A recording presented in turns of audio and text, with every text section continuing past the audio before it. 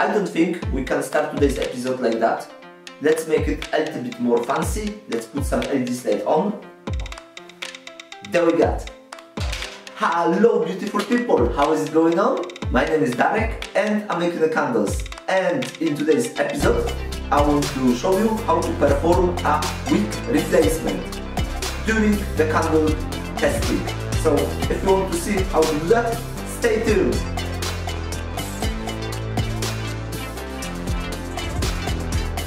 Okay, I don't know how good idea is that to hold the camera in my hand, but today I'm performing some testing on the candles and I want to show you something. So as you can see we have two candles and one of them is doing alright, but the other one is not doing alright. As you can see, this one is tunneling, so it will indicate to me that the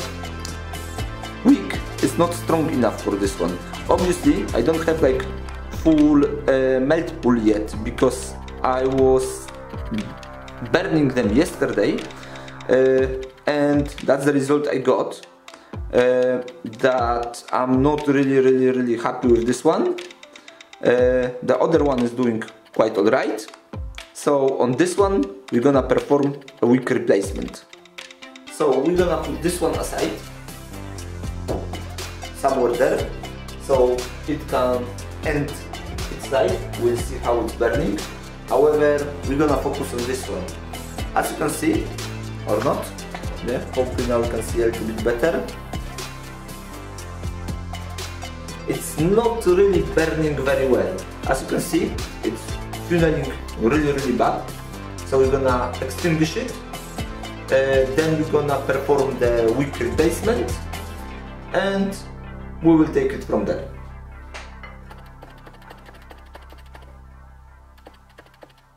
So let's give this candle a few minutes uh, because wax really need it to come back to its solid state.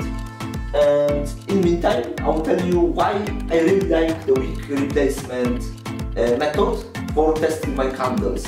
So basically the thing is that testing candles takes long, but it's also very very important.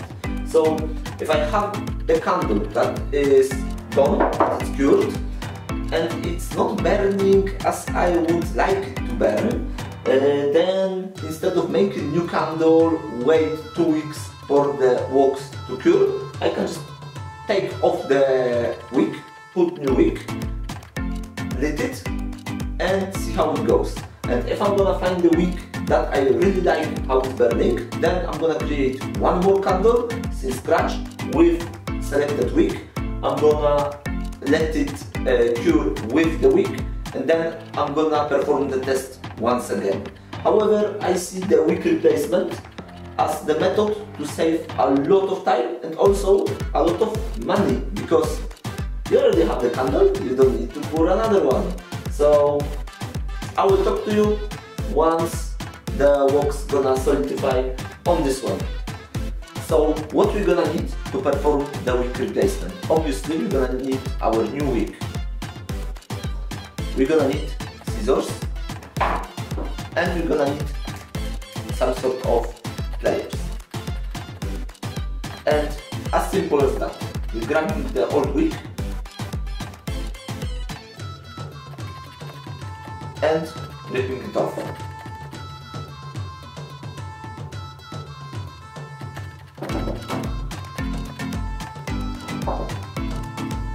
Then we take our new wick, put it that in that hole.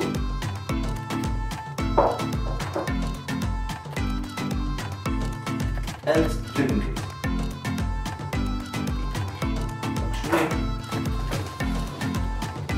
I'm gonna try to give you some better view.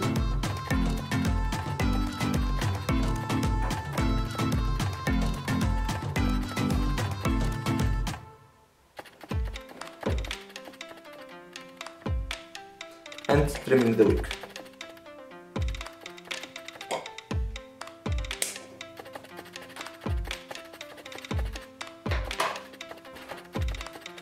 Now we just simply lit it, the big hole around it. We'll just get uh, filled with the wax.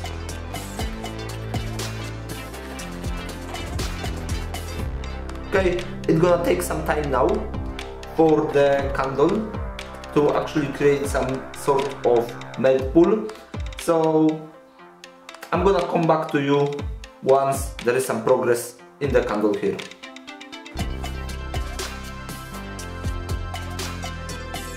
So as you can see guys, this candle is not really doing well. It is still lit but barely it probably gonna die within uh, few minutes.